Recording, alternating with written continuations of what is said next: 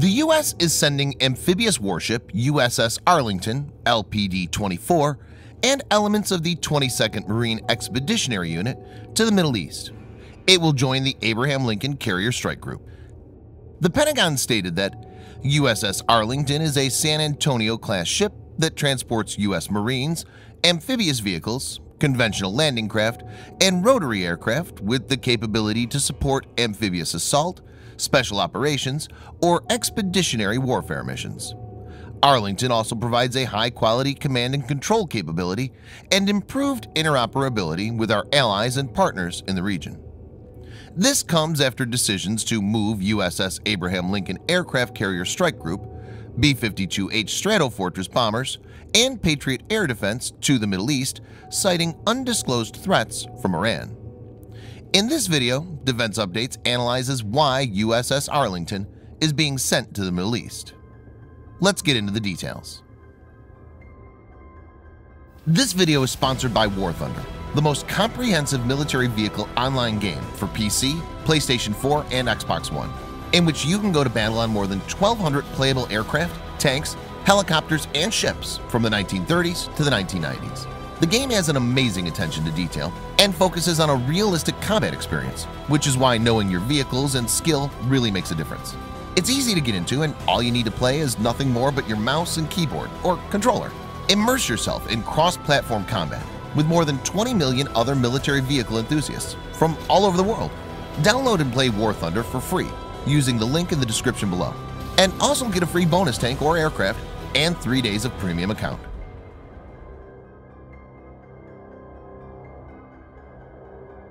USS Arlington is a San Antonio-class warship in the United States Navy.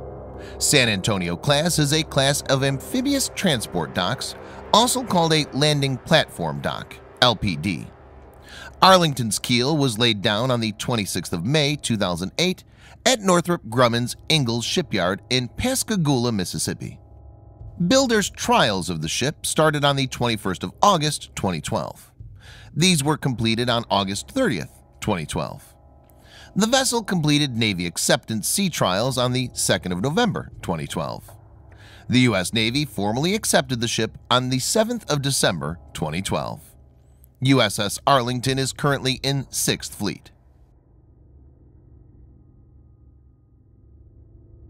USS Arlington is capable of transporting U.S. Marines, amphibious vehicles, conventional landing craft, and rotary aircraft. This means it has the capabilities to support amphibious assault, special operations, or expeditionary warfare missions.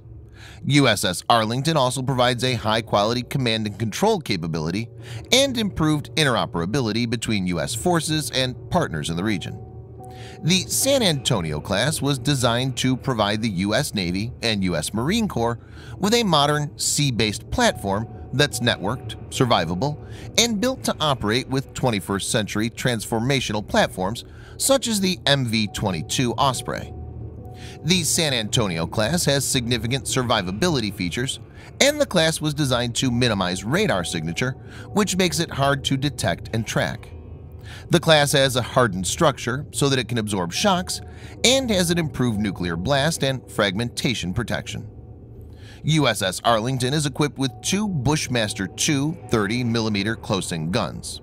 The gun has a rate of fire of 200 rounds per minute and an effective range of 3.1 miles or 5 kilometers. It has two rolling airframe missile launchers. RIM-116 Rolling Airframe Missile RAM is a small, lightweight, infrared homing surface-to-air missile. It has an operational range of 9 kilometers 5.6 miles. There are two Mark 41 8-cell VLS for quad-packed ESSMs. RIM-162 Evolved Sea Sparrow Missile ESSM is used to protect ships from attacking missiles and aircraft. It has a range of 27 nautical miles or 50 kilometers. Several twin M2 Browning machine gun turrets are also present. USS Arlington can launch or land up to two MV-22 Osprey simultaneously and can accommodate four MV-22s on the flight deck and one in the hangar deck. The Osprey is an American multi-mission tilt-rotor military aircraft with both vertical takeoff and landing VTOL and short takeoff and landing STOL capabilities. It's designed to combine the functionality of a conventional helicopter with the long-range, high-speed cruise performance of a turboprop aircraft. It was designed after the failure of Operation Eagle Claw during the Iran hostage crisis in 1980, which underlined the requirement for a new, long-range, high-speed, vertical takeoff aircraft. For takeoff and landing, it typically operates as a helicopter with the nacelles in vertical and rotors in horizontal position. Once airborne, the nacelles rotate forward 90 degrees in as little as 12 seconds for horizontal flight, converting the Osprey to a more fuel-efficient, higher-speed turboprop aircraft. STOL rolling takeoff and landing capability is achieved by having the nacelles tilted forward up to 45 degrees. It has an operational range of 1,100 nautical miles. The Osprey can be armed with one 7.62 by 51 mm NATO M240 machine gun or 0.50 inch caliber M2 machine gun. It has a maximum speed of 275 knots, that's 509 kilometers per hour or 316 miles per hour. At sea level, and 305 knots or 565 kilometers per hour, 351 miles per hour at 15,000 feet. Osprey can accommodate 24 troops seated and 32 troops floor-loaded, so V-22 Osprey could be used to carry special ops personnel. USS Arlington deployment indicates that the U.S. is setting the stage for having a major force assembled in the Middle East in the coming days. This is because USS Arlington is especially suited to provide a high-quality command and control capability and can drastically enhance interoperability. An asset like this is required when a large fleet is going to work on a predefined objective. The capability of USS Arlington to deploy special forces also adds another important dimension. Special Forces operative can take on many different types of missions, including intelligence gathering, which could be used as a base to plan for a tactical plan. It remains to be seen how USS Arlington fits into the larger picture and what role it plays.